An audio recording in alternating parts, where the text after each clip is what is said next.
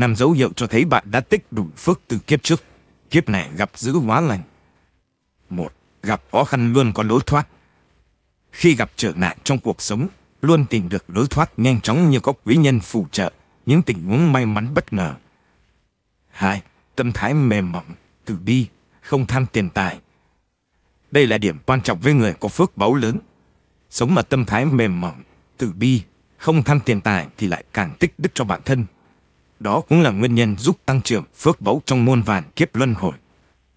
Ba, bạn có được người chồng, vợ lý tưởng. Một người có phúc sẽ nhờ tích đức mà gặp được ý trung nhân hết lòng vì họ. Nếu không có phúc thì chắc chắn cô ấy hay anh ấy cũng sẽ không hết lòng yêu thương và chung thủy với bạn như vậy. 4. Có ngoại hình đẹp đẽ. Người có phúc thường được trời ban cho ngoại hình xinh đẹp, cân đối. Không phải ai cũng may mắn sinh ra với khuôn mặt hạ ái và thân hình quyến rũ. Hãy cảm ơn tiền thiếp của bạn đã tạo dựng nhiều phúc đức. 5. Ít ốm đau, bệnh tật. Người có phước lớn sẽ có sức khỏe rất tốt, tuổi thọ khá dài. Những bệnh vặt như cảm cúm thường không thể chạm vào bạn. Nếu có những dấu hiệu này, bạn chắc chắn là người có phúc.